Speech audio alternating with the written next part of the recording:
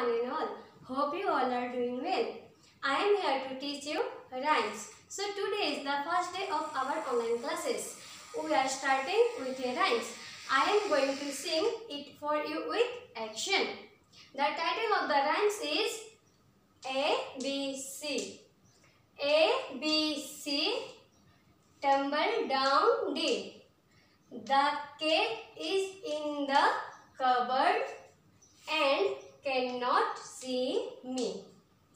A, B, C, tumble down D. The cat is in the cupboard and cannot see me. Now students, you are sing together with me, okay? A, B, C, tumble down D. The cat